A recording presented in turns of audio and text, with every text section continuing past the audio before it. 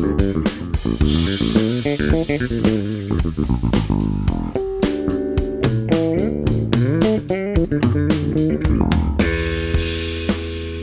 that didn't go quite as I planned, but anyway, what I was trying to do, and hello everybody. Well, Hello there. Welcome to All About the Bass. What about those with Standin Lee? Standin Uh, Lee. Standin Lee uh, for the other Lee, who's not very well today. What I, what I was trying to do there Yeah. was was uh, demonstrate uh, some sort of Leo Fender bass invention timeline. Right. Um, and I'm. I think we achieved it, quite frankly. Do you? Yes. Yeah. Should we With- just, with some we just call it a day then? That's that's the demo, is it?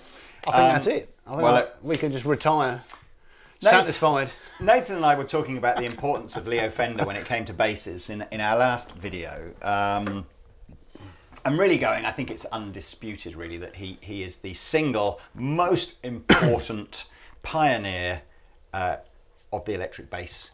Um, might not be your favourite bass ever, but I think Un- as, as pioneers, I think he is he's yeah, the godfather. Absolutely, yeah. So, so influential, just with the designs. There's all of those bases that I just attempted to play um, were desi- designed by him. right? Designed by him. Him So and, and. And to a certain degree George Fullerton as well. But so the timeline goes, um, and we might as well have a little bit of an explore with each of these to sort of get some some tones. So um, we are. U- oh, I've turned it off. It's fine.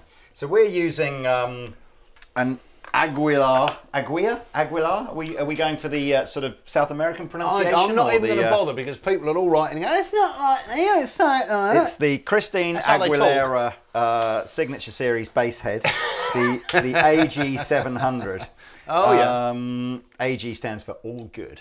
Does it? Ultra low quiet. Um, and we're going to leave all the settings the same for each one, which I totally understand is probably not necessarily. No, I think it's a good idea. We should definitely do that because Yeah. it's important for everybody to see the difference in gain Yes. as well. Yeah, but Because but that, because that's what I really noticed as we Yeah. went through those bases at the start. 100%. Um, you know, the, the obviously the, the P bass and the, the jazz bass are. Um, Yeah. Uh, pa- I don't know if that one's passive, is it? They're all- probably. yeah, so, No, well- they're passive and were noticeably Yes. a lot quieter than the other amps.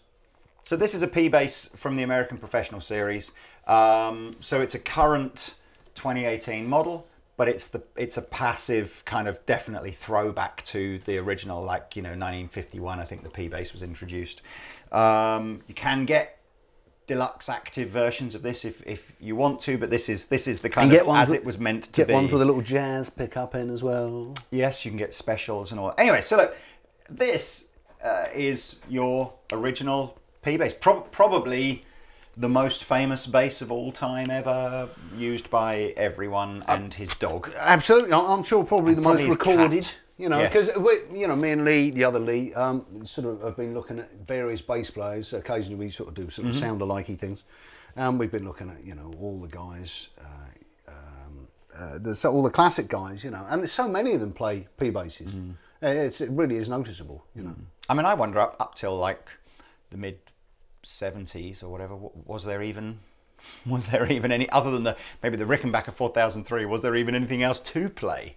You know, I mean, name the you know you, think of all the modern classic basses Yeah. like Music Man and Warwick and Spector and you know all that. They didn't they Mm. Didn't exist. didn't exist for the first 20 years or so of, course. the electric bass. So, Absolutely. yeah. anyway, so was a P bass or a jazz bass or yeah, uh, take your pick. Yeah.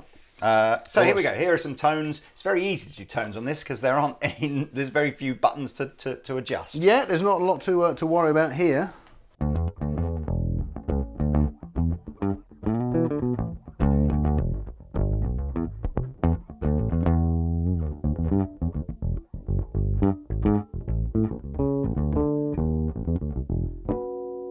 It's almost, to me, in comparison to the other basses, it sort of sounds like someone's talking a bit like this whilst they're doing it. It is. Uh, yeah, it is, but you know that's kind. that's the sound. Um, That's the sound, isn't That it? It is the sound. thuddy kind it, of and sound. Mm. it works, you know, in a lot of different musical genres. You know, the police i think always that sort of all the sting kind of bass lines where it is that kind of tone rolled off kind of just thuddy kind of bass sound always sounds like that anyway not long after well quite a long time after i suppose if it's you know depending on if you're a guinea pig or something like that it'd be like three lifetimes later but as a human about eight or nine years later um, jazz was the thing woo! um, so you Jazz. had all sorts of, you know, Jazzmasters and jaguars, and of course, bass players didn't get left out. They got a jazz bass. A jazz bass, very sexy it is too. jazz, much sexier. Jazz, uh, jazz. Pete's more familiar with those kind of magazines than he is the genre of music. Yes, he is. Um, that's true. So now we have two pickups Two pickups. two pickups. Count them. One, two. uh, with uh, two volume controls and a tone control. Again, this is a, a modern American professional series bass, but harking back to the original sort of jazz bassy kind of vibe. So passive circuit, same settings as the P bass. Sounds like this.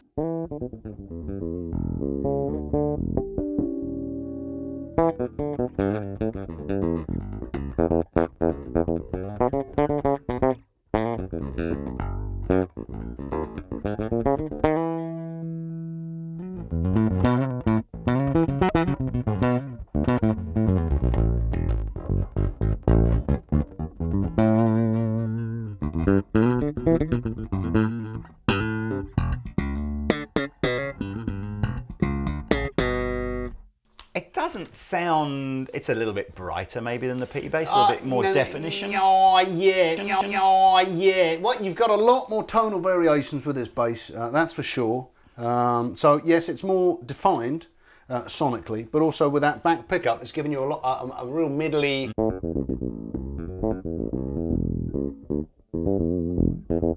Classic sort of Jaco sound, Mm-hmm. and then uh, you know with the both pickups on together, you get a, a kind of different sound on the P bass, which is more of a funky. Mm-hmm. You're starting to get that sort of um, sort of funk tone happening.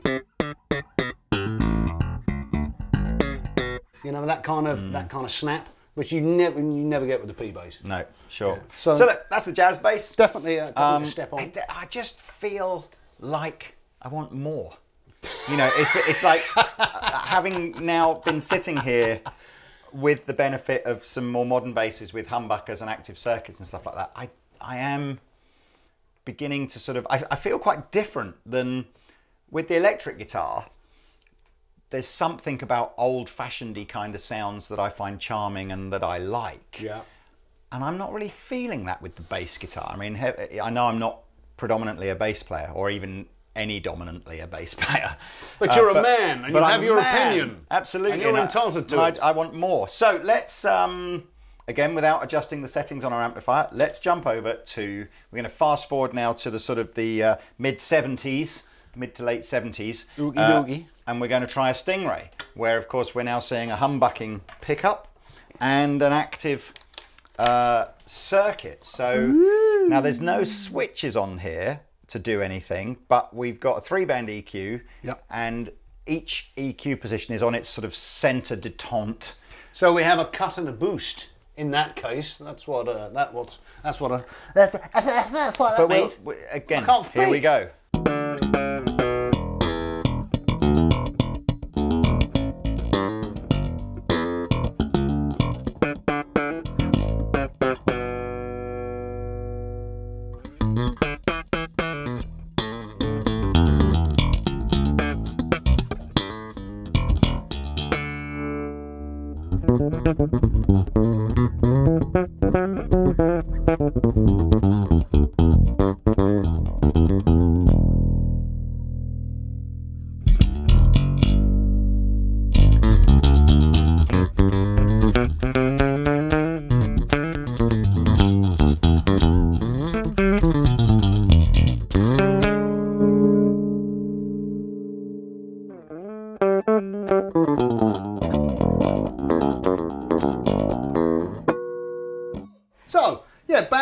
Different things on there. Uh, you know, bags of different sounds, and a very uh, much more uh, trebly, a bright sort of sound going on. Even though you've only got the one pickup. Absolutely. So you can see, uh, you know, in the in the sort of 15, 17 odd years that, that Leo had from doing the jazz bass through to this, quite a lot of things have changed. Bigger body style, humbucking pickups, active circuits. Active circuit. Most importantly, this is this is the big change we're seeing. Um, Yeah. Uh, different neck join. The bridge, I still think is, if I had to be honest with you, it, it's it's it's transitioning from a sort of a Fender style bent bit of metal bridge over to what uh, ultimately Leo put on the G&L bases, which was the much higher mass kind of bridge. Um, but let's give the other. So obviously, and then we also begin to get into the realms of the two pickup uh, Stingray, which is very very cool. Your stand is behind you, but I'll, I'll hold on to this lovely creature. Uh, these wouldn't have had baked maple necks back in the day. That's a relatively new thing for Ernie Ball. So they'd have had more traditional, lighter coloured uh, maple necks.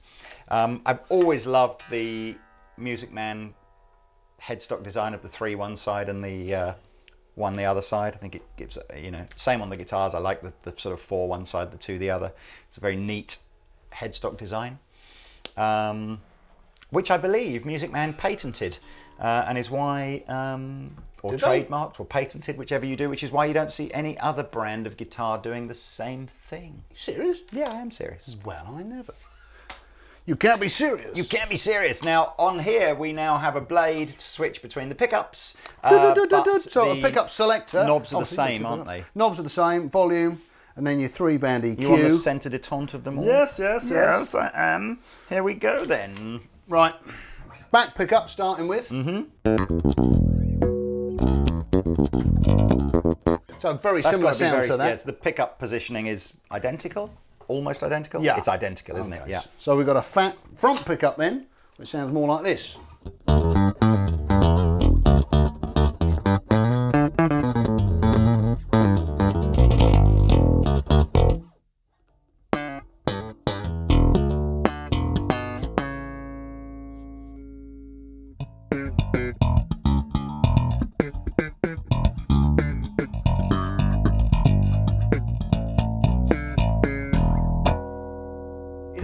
Five-way switch or a three-way? That five. Oh, it so you've obviously got some more of your kind of series parallel or coil tappy kind of things going on. Yeah. Coil tappy carpets. If you live in the UK, just fitted uh, some flooring at my house. Did a pretty okay job. Just saying. Thanks, Tappy. A bit of a discount was there involved? Yeah. no, maybe there will be on the next one though. I've no idea. Coil tappy carpets. Well, they're tappy carpets. oh, And I- tappy carpets, right. okay. and I just thought, anyway, Shameless. no idea. where we're going with Shameless. Right, yeah. Any excuse for a discount on anything. So obviously this is this is for I guess anyone that's playing funk. Yes. This is a nice funky bass sound. You know what I mean? I just think everything's better about this. I like the fatness of the humbucking pickups. Well, it's, it's just more options. It, it, we're seeing more and more tonal options. You Yeah. see that the, the big the game changer was the active preamp. yeah. And this is really important in basses as opposed to guitars because it just gives you so many more tonal variations. I, I also I'm just seeing the uh, the the um, evolution of the of the of the neck join. You know, four bolts on a Fender, five on a Music Man, Four bolts on a Fender. six on a G&L. Had Leo lived longer, perhaps we'd have seen you know maybe you know Seven. seven, eight bolts. who knows? Or who knows? his, his imagination was unlimited on the bolt front. on the bolt front, he had a bolt obsession. It was like he was a, he was uh, UK born actually. He was from Bolton. Wahai! Oh yeah, that's actually quite good. that's all right, isn't it? You can have that one, So um, anyway, are we moving on? please. Right, so there's not much of a gap now between the Stingray, uh, timeline-wise, between the Stingray and the first uh, G&L L1000. Uh, probably not more than four or five years. So let's go to the single pickup. Uh, let's mute you here. Just out of interest, Hmm. you might be able to furnish me with this information. So this one and the other one, did they come out at the same time? I believe they did. I believe it was 1981 I believe. So the two pickup version came out at the same time. I think so. I think Okay. it, they were launched as a here's the L1000, here's the L2000. okay. Um, and you want to look at this one? And I believe there are five. Again, there are five string versions of all the. You know, you can get five string Fenders, five string G&Ls, five string Stingrays. But Now we're just you using can. four strings. Not in those days. No, absolutely not. When did the five string thing? Was that an eighties thing? Do you think five string bass guitars? It was Somebody put that on that Yeah. thing. What's Well, Mark use? Does he use a five string or a four string? He doesn't actually. He is f- uh, predominantly 99.9% of the time four string. Four string. Yes. Fair enough. Yeah, it's not a five string fan. Does Interesting. use them, uh, he has used them occasionally, but generally four. Generally I think it's all to do with the uh, getting in the way. Yeah, no Probably. worries. Okay, well look, let's jump over to the to the, the G&L uh, now, please. Yes. Uh, so we're actually jumping uh, back slightly in the sense of this, although it's got the humbucking pickup and some interesting switching options, it doesn't have the active preamp in it. So, oh, thank you, sir, for Don't mention very it. It's kind. all- it's all right.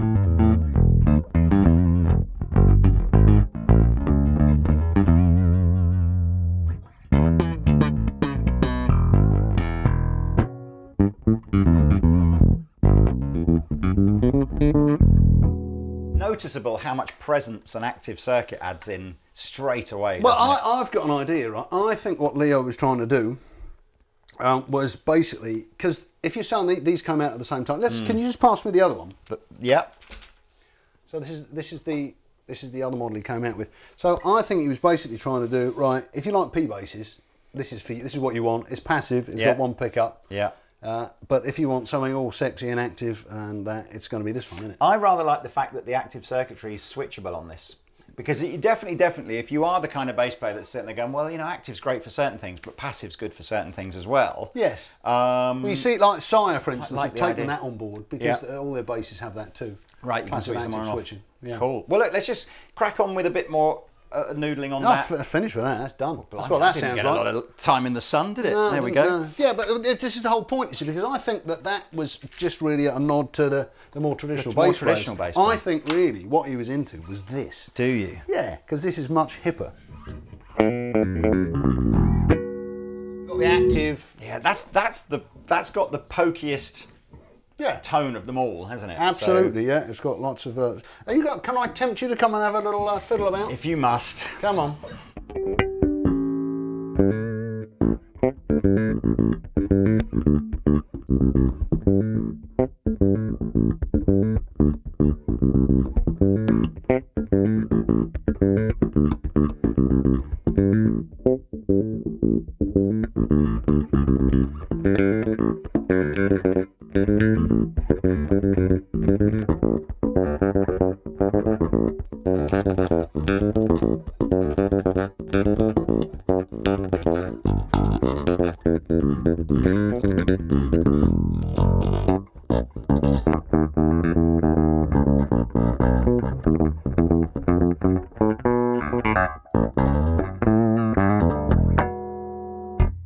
Undisputably, if you want the most different tonal variations from your bass guitar, you can kind of see where Leo's going with this. Yeah. I, I wonder if that's just like, right, how do I make a bass?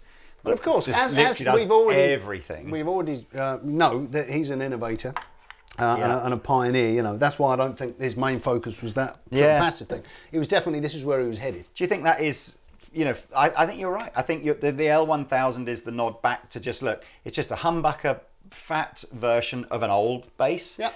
And and the 2000 was the if you need something that's going to you can turn up to a gig and do anything with. Yeah. Um, the 2000, but I got to say, you know, visually speaking, uh, visually speaking, I'm I'm I think there's a lot to be said for the more you see something, the more you sort of fall in love with it. Because you know the the P bass and the, and the jazz bass, I think visually, aesthetically, there's there's nothing to not like about them.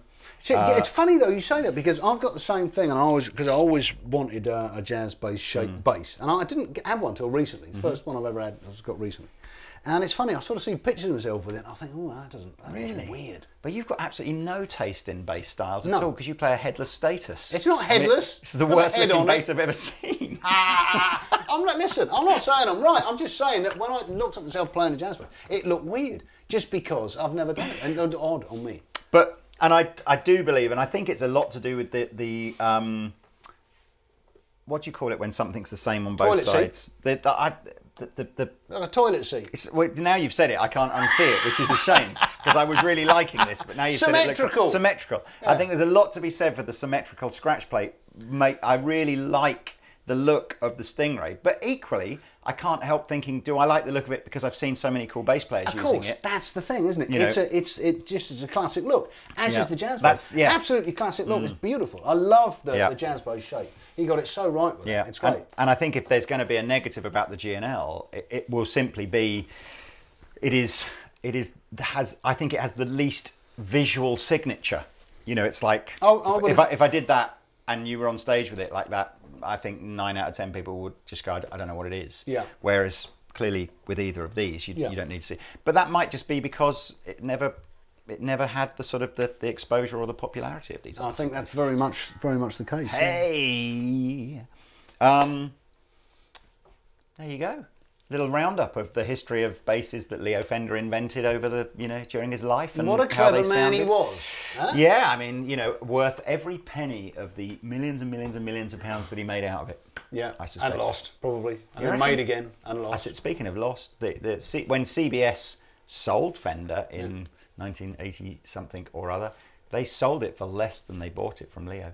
And not not just taking into account inflation. I mean, physically less. Wow. So yeah, they, they- obviously. How Uh, much later was that? Did they sell it?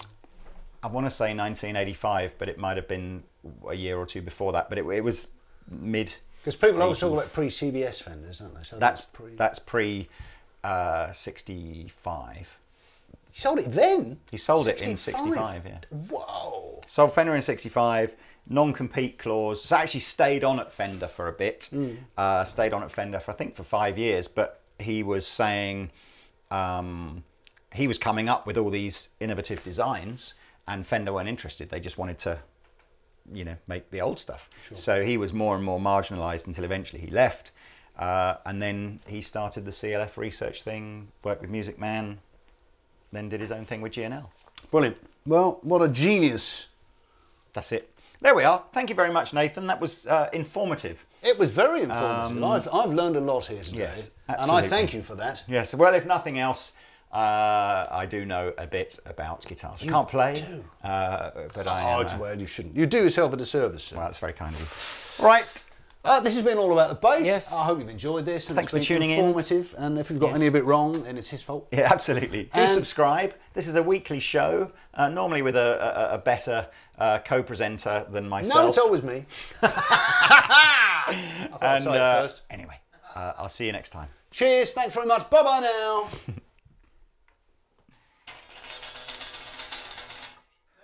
Right. Good. Okay.